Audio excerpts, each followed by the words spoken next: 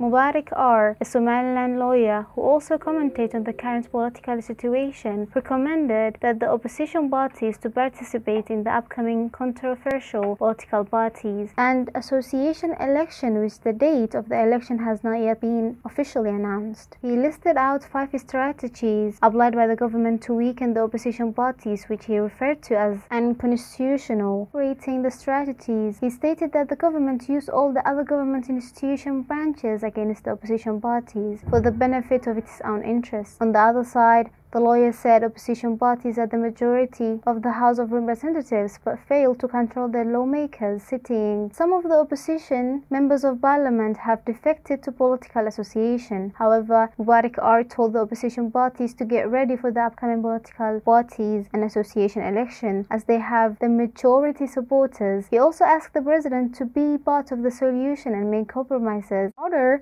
for the nation to avoid further long-standing disputes.